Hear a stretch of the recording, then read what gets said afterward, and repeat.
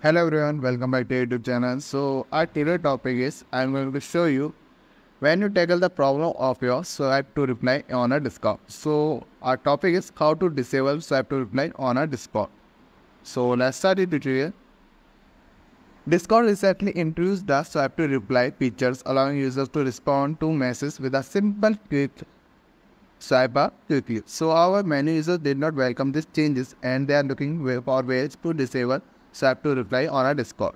So in response to users feedback, so Discord has provided an option to disable the swipe to reply features, allowing users to return to the previous functionality of swiping to view the member list. So how many users to having trouble finding this setting? So in this video, I will show you how you can find this.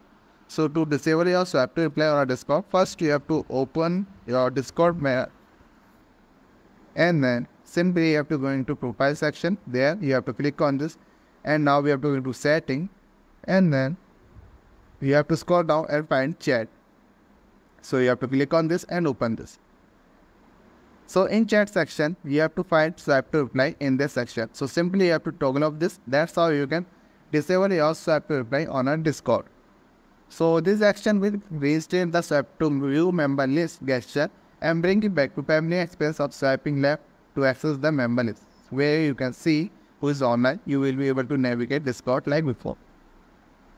So thank you for watching this video. I hope you like it and we will catch you in a next video with further information.